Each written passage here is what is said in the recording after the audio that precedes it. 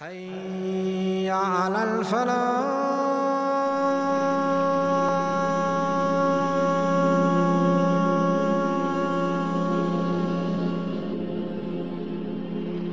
Allah subhanahu wa ta'ala gave Ayub alayhi salam large estate, land, property, wealth, agriculture, you name it.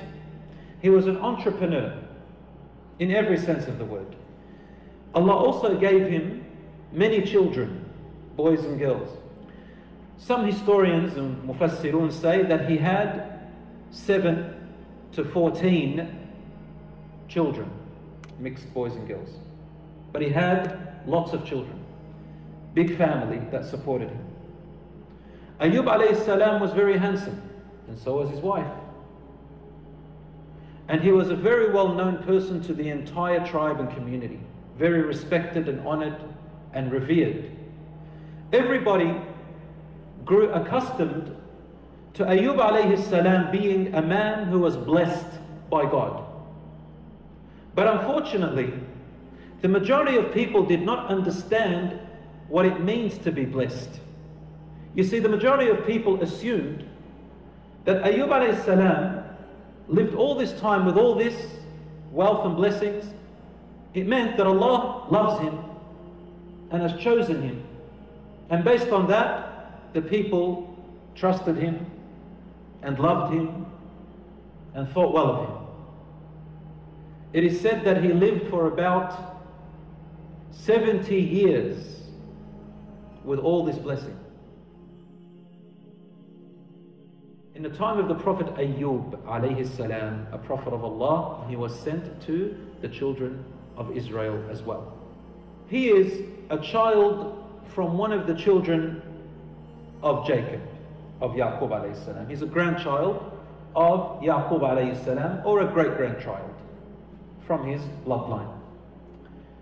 Ayyub alayhi salam was one of those sent from the children of Israel, the brothers of Yusuf alayhi salam. And the example that Allah gives us about Job, Ayyub, is an incredible example of patience when it comes to losing your loved ones, people isolating you and accusing you without you doing anything wrong. And number three, your health. I have to add a fourth thing actually. He was tested with his wealth. And I have to add a fifth thing if you want as well, which was a side effect of it all. And he was tested with his own honor, his wife. And Allah mentions Ayyub alayhi to the Prophet Muhammad sallallahu to help him when he is going through calamities and hardships.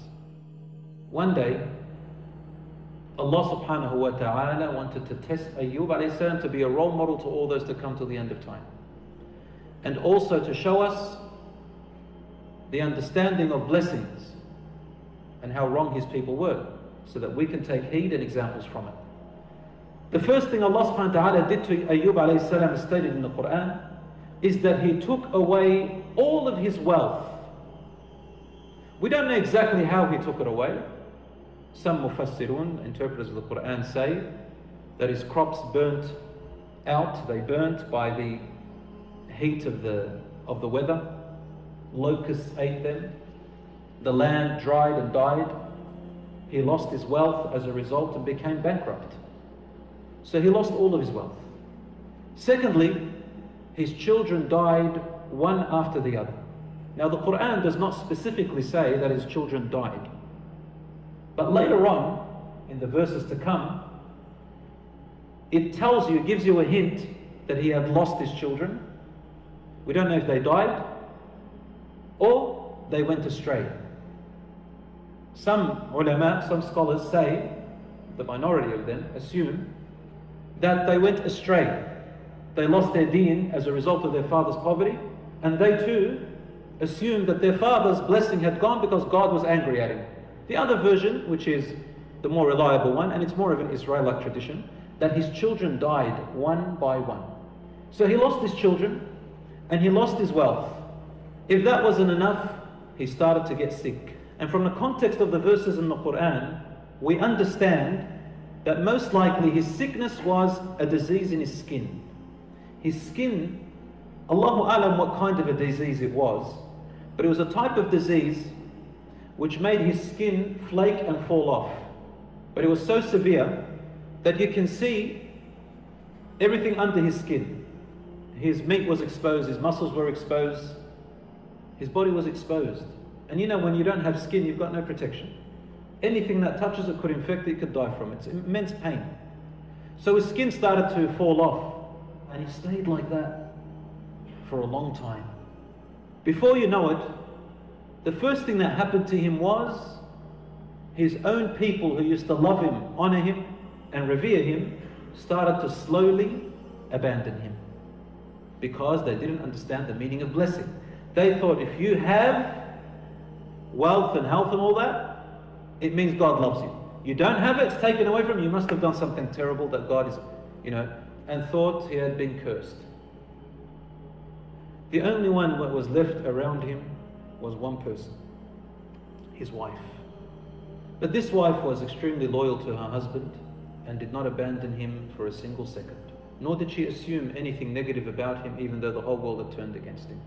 Allah subhanahu wa ta'ala, He mentions her in the Quran, not by name, but as, as his wife, and therefore she is a virtuous woman of great honor and respect. Because of her immense struggles and patience, that was something that deserves her mention in the Quran, which we recite till the end of time.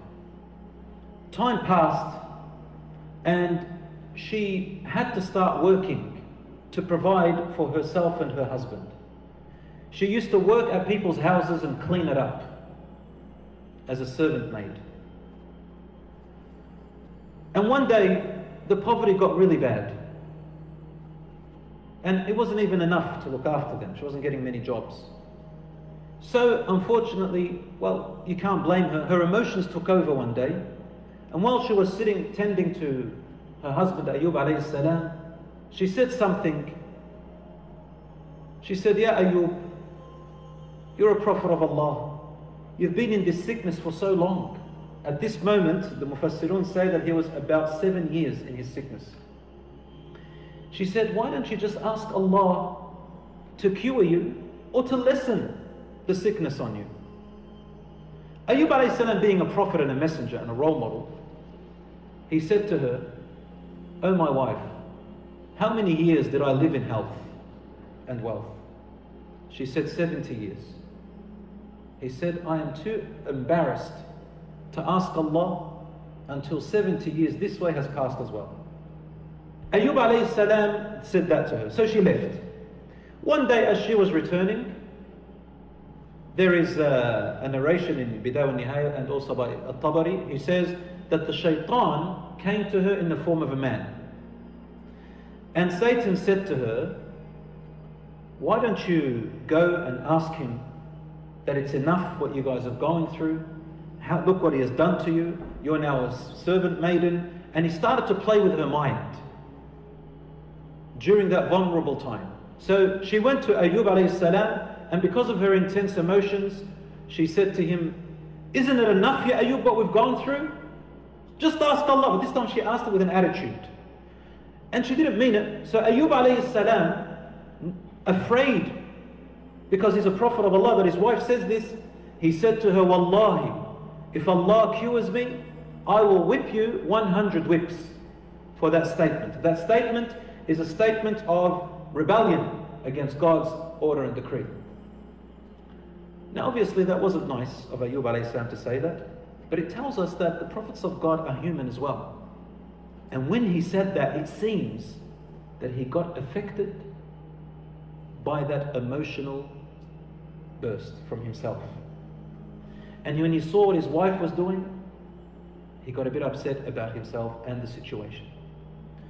One day, she came to bring him some food, and she used to wear a bandana on her head or a hijab, scarf. And one day, as she was bringing the food, she was wearing a bandana, it fell off.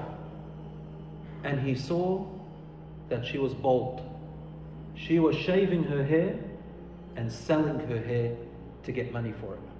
He felt now that his own honor is being affected by this. Now, this was not from Allah subhanahu wa ta'ala. The emotion build up was a human reaction, and it was shaitan's whispers. And so, this negativity was starting to show. Ayub alayhi salam became afraid.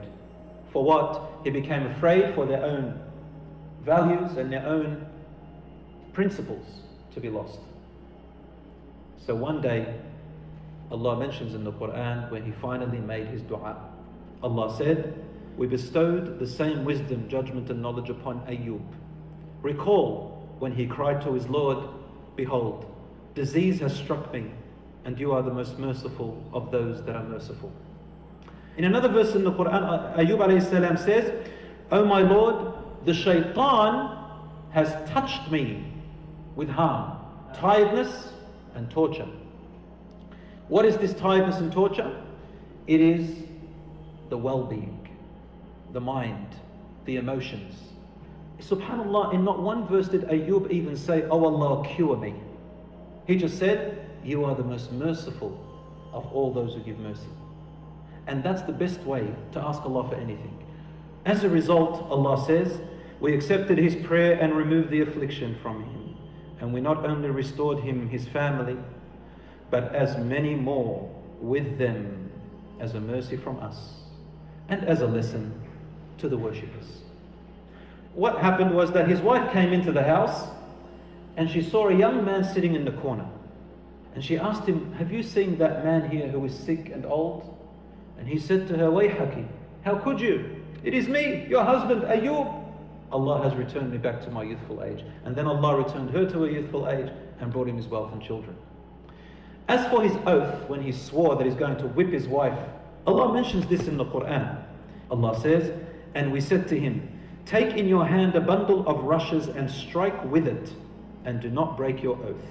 Indeed, we found him steadfast. How excellent a servant of ours he was. Indeed, he constantly turned to his Lord. So he took a bunch of small straws or branches or whatever it was, and what he did was them, he got 100 of them and he just threw them on his wife's back. It doesn't do anything to you. And so he expiated his oath. What happened there? There is a hadith in uh, Sahih Bukhari where Ayub it says that Ayub salam was washing himself. He took off his clothes and was washing himself when locust-like creatures, locust-like gold, so they weren't real, it was just gold, but it started to appear in abundance in front of him. So while he was having a shower, he didn't bother putting his clothes on because he was alone, of course, and then he started to pick them up. And he grabbed his other clothes. Instead of wearing them, he started putting the, the locust, the gold, into his, into his clothes. And it sounds almost unusual for a prophet to want all this gold. What, you know, what's wrong? Is he selfish? Is he greedy? Obviously not.